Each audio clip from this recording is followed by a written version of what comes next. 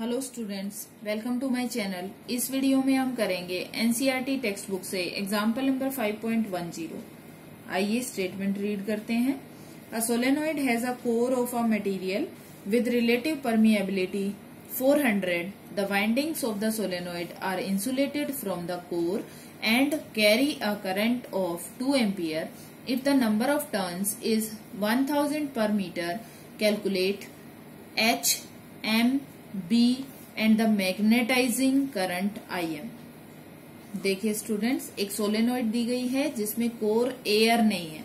उसमें एक material as a core use किया जा रहा है, जिसकी रिलेटिव परमिएबिलिटी है 400 और सोलेनोइड में वाइंडिंग्स इंसुलेट करके लगाई गई हैं कोर से और उन वाइंडिंग्स में करंट है 2 ampere number of turns per metre है 1000 और हमें कैलकुलेट करना है कैपिटल एच मतलब मैग्नेटाइजिंग इंटेंसिटी कैपिटल एम मतलब magnetisation B net magnetic field in solenoid and magnetising current I M ये सब हमें कैलकुलेट करना है।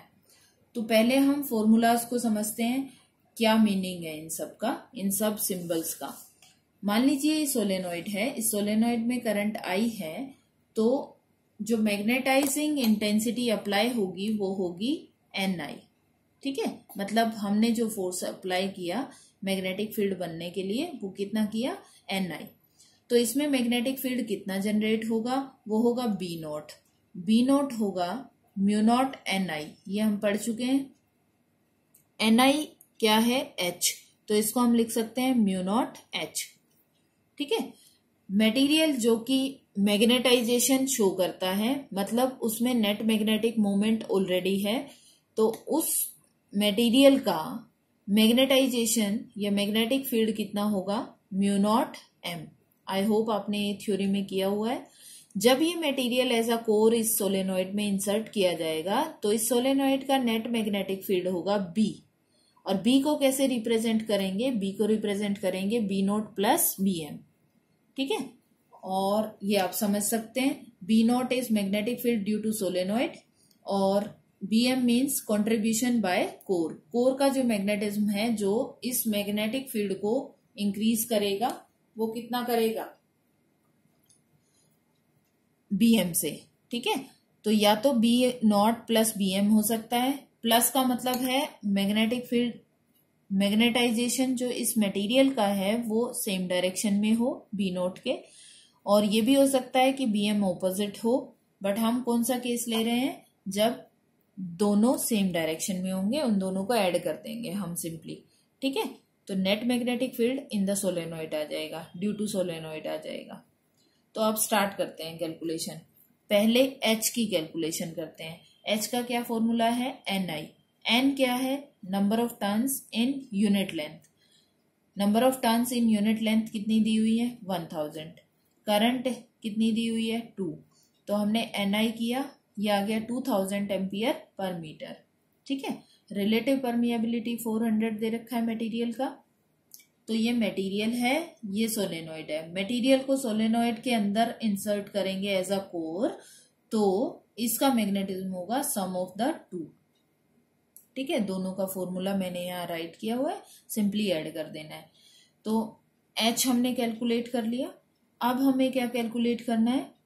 हमें कैलकुलेट करना है बी तो पहले मैं बी कैलकुलेट कर रही हूँ एम कैलकुलेट करने के लिए। तो बी कैलकुलेट करेंगे। बी है म्यू नॉट एच बट अब जो बी है, वो किसकी वजह से है? बी है मीडियम की वजह से। और मीडियम क्या है? मटेरियल तो मटेरियल का परमिएबिलिटी हमने यहाँ पे कंसीडर किया कि एच हमने करंट की वजह से बनाया और जब वो मैग्नेटिक फ़ील्ड बाहर निकलेगा तो वो मीडियम से होकर निकलेगा और मीडियम उसको कितना कम कर देगा? म्यू टाइम्स कम कर देगा। तो ये म्यू है, ये परमिएबिलिटी ऑफ़ मीडियम है। रिलेटिव परमिएबिलिटी और परमिएबिलिटी ऑफ़ मीडियम का रिलेशन क्या है? Mu R is equal to mu upon mu naught तो यहाँ से हम निकाल सकते हैं mu is equal to mu R into mu naught तो ये प्लेस कर दिया हमने वैल्यू म्यू नॉट की वैल्यू क्या है? Four pi into ten to the power minus seven mu R की वैल्यू फोर हंड्रेड हमें दी हुई है। ठीक है? Into two thousand is equal to this much ये आ गया वन टेस्ला ठीक है? तो magnetic field with material due to solenoid कितना आ गया? वन टेस्ला ठीक है? अब इसी को यूज़ करते हुए दूसरा फॉर्मूला हमारा क्या था? एक फॉर्मूला तो ये है, जो मैंने इससे बताया कि मैग्नेटिक फ़ील्ड इन एयर रहेगा mu naught H, magnetic field in medium होगा म्यू एच। ठीक है? म्यू मतलब परमिएबिलिटी ऑफ़ मीडियम ठीक है? दूसरा फॉर्मूला क्या है कि दोनों का मैग्नेटिज्म ऐड कर दीजिए। तो दोनों का मैग्नेटिज्म ऐड किया B is equal to B naught plus B M किया। बी नॉट की वैल्यू है म्यू नॉट एच और बी एम की वैल्यू है म्यू नॉट एम तो ये आएगा mu naught into H plus M तो ये आ गया B is equal to mu naught H plus mu naught M M को सेपरेट कर लिया। एम को सेपरेट करने से आ गया B upon mu naught minus H H की वैल्यू हम कैलकुलेट कर चुके हैं बी की वैल्यू भी हम कैलकुलेट कर चुके हैं, ये वाली। और म्यू नॉट की वैल्यू ऑलरेडी हमें पता है। तो सबकी वैल्यू हमने यहाँ पर प्लेस की, इसको सॉल्व किया, ये आ गया eight into ten to the power five. ठीक है? तो ये मैग्नेटाइजेशन आ गया। कितना वैल्यू है इसका? Eight into ten to the power five ampere per metre. I hope आपको समझ आ गया। दो फॉर्मूले हैं, नेट मैग्नेटिक फ़ील्ड का, due to solenoid with material. एक फॉर्मूला ये है, दूसरा फॉर्मूला ये है। दोनों फॉर्मूले को यूज़ किया हमने, इस फॉर्मूले को यूज़ किया बी को कैलकुलेट करने के लिए और इस फॉर्मूले को यूज़ किया एम को कैलकुलेट करने के लिए। ठीक है? आई होप आपने थ्योरी में सभी फॉर्मूलाज किए हुए हैं। अब हम नेक्स्ट पार्ट को करते हैं। Magnetising current magnetising current is the additional current which when passed through the solenoid in the absence of core would give the value B as in presence of the core.